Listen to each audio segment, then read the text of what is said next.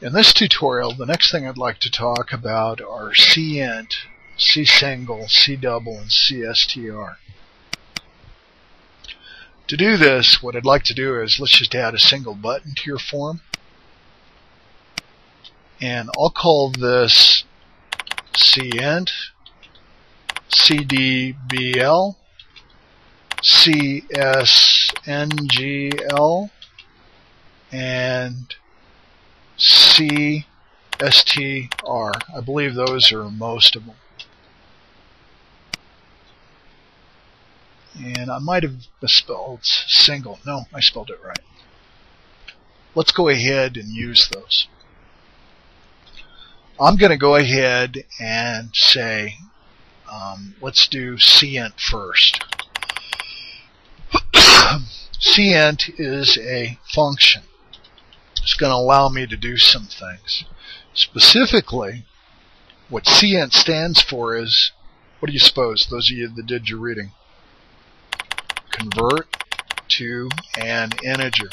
All of these are acronyms. They look like they're abbreviating what they really do. So where would you want to do that? Well, let me show you this. I'll say dim um, x as string. And I'm going to set it equal to the number 72, but in quotes. I got to tell you, that is not really a number. That's just a 7 and a 2, just like you have an A or a B. These are really, as far as your computer is concerned, letters, characters. Do you understand? That is not a number. So sometimes you really want to take that string and turn it into a number. I'll say dim my integer as integer.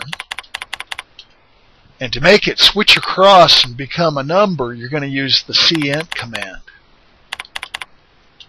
So I'll say integer is equal to, I got to do something to x. What have I got to do to x? Well, typically with functions, you're just going to write that function and then within parentheses, you're going to have some container to put things in. And the parentheses you're going to use that number x or that variable x and do something to it. So we start off with 72. I convert it to an integer. So really what cint does is it converts strings to integers. That's the punchline. And to prove that it's an integer, let's say in listbox1 dot items dot add, I take 2 times x. Now that's completely legal. I can do a mathematical operation in a list box. This is really going to take 2 times whatever my integer is. And what happens here is, comes in as the letters 72 it gets converted to an integer. It goes into my integer. Uh-oh. And we want to say my integer here. I want to prove that I actually converted it to an integer.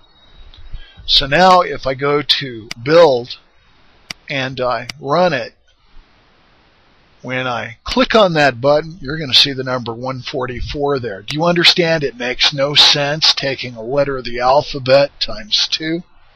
That's the situation where we might want to use this. Now, that was one of the commands we are going to use here. So that kind of finishes off one idea. The next thing I've got on my button is the cdbl command. Well, cdbl converts obviously what? What do you suppose I'm going to finish this with? Strings to doubles. It's really simple. I'll go ahead and declare a double as my double. I'll set it equal to a number like 3 point, excuse me, my double as double.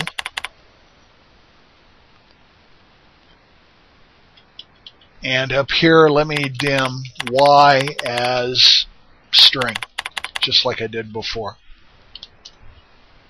Let's initialize my string here as quote 3.14, which is just a series of characters. And my double now, I want to use this C double command. And I bet you can look at what I did before and predict what I'm going to write here. What do you suppose I'm going to say here to make this work? C, D, B, L, Y. So what that does is it takes these characters here, converts them to a double, which is really a decimal, as we spoke about the other day, and puts that number here. No longer is it characters, and now I can do math with it. I can say something like, well, let's double that value to see if it's working. And I want to change this to my double to see that it does work. And now when I go to run this, you can see 2 times 3.14 is this. Well, you couldn't normally do that with letters, so this is going to allow me to do that. Another type of data type that we talked about yesterday was a single. So, you know what? I can just about copy all of this code from here to here because it's going to be real similar. I think you see the pattern. This is going to be about CSNGL it's going to convert strings to a single, which is a smaller decimal. A double is a gigantic decimal or a gigantic number that has to be written in scientific notation. Times 10 to the power of 308 or to the power of minus 308. That's a tiny, tiny fraction. 15 places accuracy. Singles much smaller. We're looking at only to the power of 38 plus or minus 38 and maybe six places of accuracy. We talked about that the other day. Let's change this to my single. I'm getting an error here. Do you know why I'm getting an error here on the y? It was already declared. Once you declare a variable, you can only use it once. We need a new variable name here. I'll call this z. Let's make this you know, I've never done this before. We're going to try something really interesting here. This might or might not work. I'm not sure. I'm taking a chance here. I'll say I have 1.2345678901234 There's my 15 places of accuracy. I'll say e to the power of 302. That is a big whopping number. That is the same thing as 1.23 so on times 10 to the power of 302. You'd be a long time at writing just the decimals. Let's see now if I can take my double or my single or my double, it is a double, my single. And you know what? Can't do to the power of 302 with a single. That's for a double. I better change this to the power of 38 is as big as I get. Let me try a 37 here. It should handle to the power of 37, and you don't get 15 places of accuracy here with a double. No, you're only going to get about 5 or 6. This should work.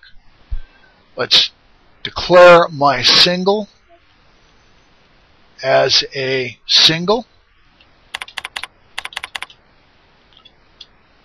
And then down here, I'll say my single is equal to C S N G L of Z.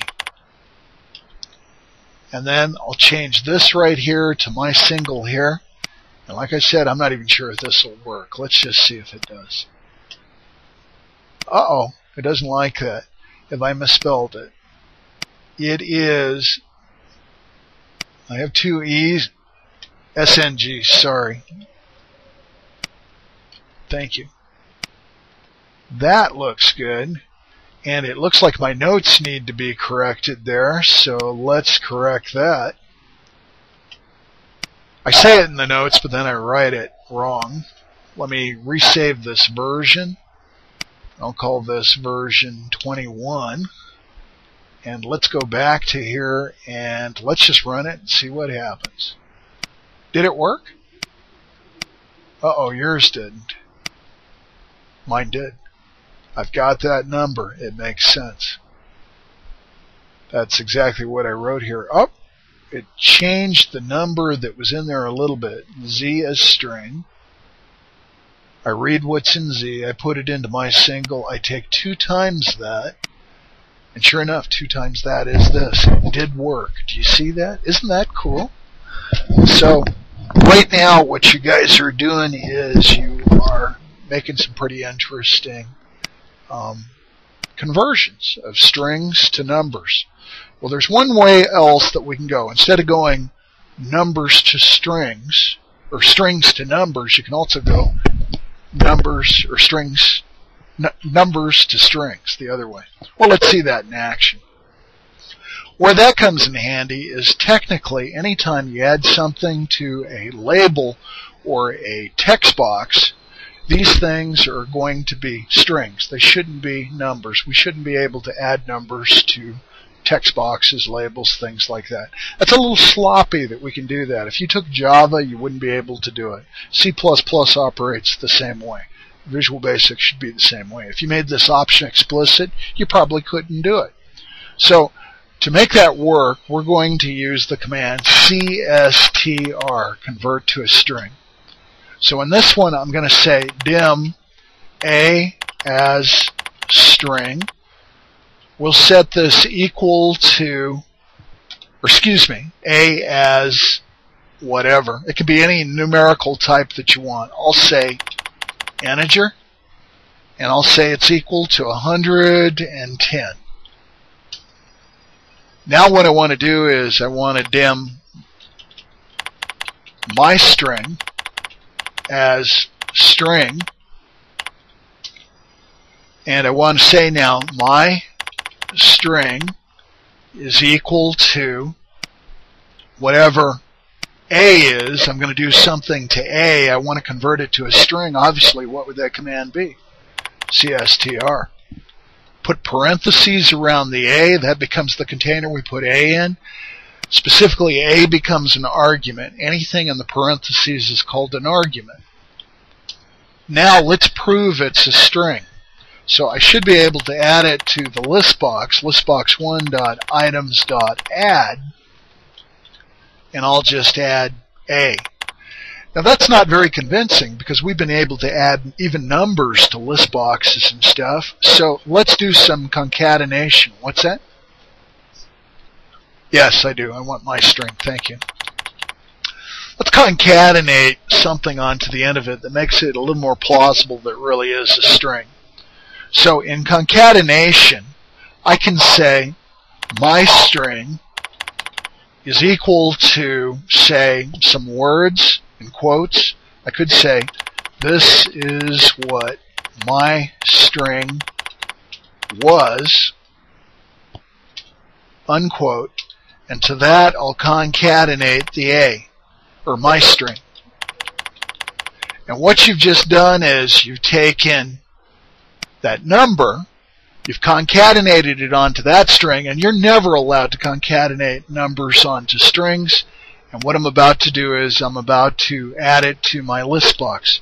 If this works, this is proof that that works. Let me go ahead and run this. And there you go. Oops. It looks like I didn't make my list box big enough. Let's increase the size of the list box so you can see the punchline. So let's just make that really, really big so we've got everything and we'll rebuild it and run it. And there we go. You can see that we successfully concatenated. So now we're able to go from numbers to strings and strings to numbers. And I can tell you there is no language I'm aware of that does this as easily as BASIC or Visual Basic does. This is as easy as it gets. It's always harder than this. At this point, this concludes this tutorial.